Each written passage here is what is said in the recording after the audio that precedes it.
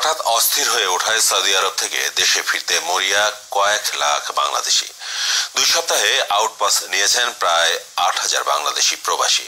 এর মধ্যে মোহাম্মদ নুরুল ইসলাম নুরু সহ কয়েকজন রিয়াদের সফল ব্যবসায়ী ও উদ্যোক্তা চেষ্টা চালিয়ে যাচ্ছেন সৌদির শ্রমবাজার দখলে রাখার।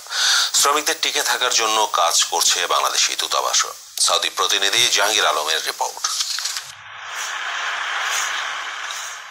আছে কর্মসংস্থানের সুযোগ। শ্রমের সুনাম ও প্রবাসীদের মধ্যে এক নম্বরে বাংলাদেশিরা। তারপরে দেশে ফিরতে মরিয়া, সৌদি আরবের কয়েক লাখ বাংলাদেশি। হঠাৎ করে ভিসাসি ফি সহ আনুষঙ্গিক খরচ বেড়ে যাওয়ায় হিসাব মিলাতে পারছেন না তারা। আয়ের চেয়ে ব্যয় বেশি হয়ে দাঁড়ানোয় দেশে ফিরতে চান অনেকে। এরই মধ্যে আউটপাস নিয়েছেন প্রায় আট হাজার প্রবাসী বাংলাদেশি। দেশে ফিরে কি করবেন এমন চিন্তা আছে তাদের।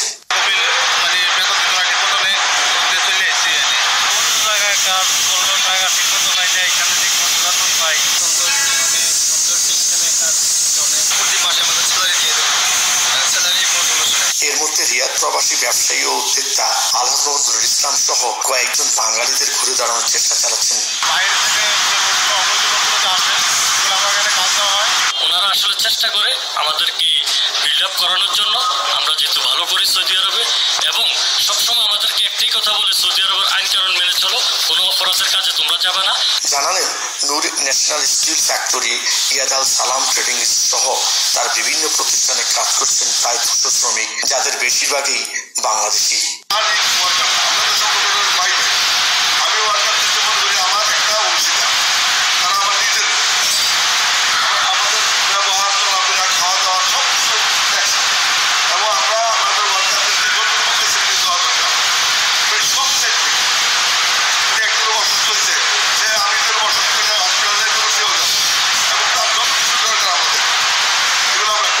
কুমিল্লা আদর্শ সদর উপজেলার এই বাসিন্দা নিজ এলাকায় গড়ে তুলেছেন Dhanuakhola Adarsha public degree college. Alhaj Nur Islam foundation, Nur and brothers CNG O hotel Nurmahal সহ বিভিন্ন প্রতিষ্ঠান। সৌদি আরবে প্রতিষ্ঠিত আল্লাহ নজরুল ইসলামের মতো যদি প্রবাসীরা এগিয়ে আসেন, তাহলে প্রবাসী যারা রয়েছেন, তাদের কর্মসংস্থানের কোনো সংকট থাকবে না বলে রিয়াদের কমিউনিটিরা মনে করছেন। জাহাঙ্গীর আলম হৃদয়, মোহনা সংবাদ, রিয়াদ, সৌদি আরব। নানা আয়োজনে সৌদি আরবের রিয়াদে প্রবাস মেলা পত্রিকার প্রতিষ্ঠা বার্ষিকী উদযাপিত হয়েছে। শিক্ষানুরাগী মোহাম্মদ জামাল উদ্দিনের সভাপতিত্বে অনুষ্ঠানে প্রধান অতিথি ছিলেন সৌদি আরব প্রবাসী সাংবাদিক ফোরামের সভাপতি মোহাম্মদ আবুল বাশির।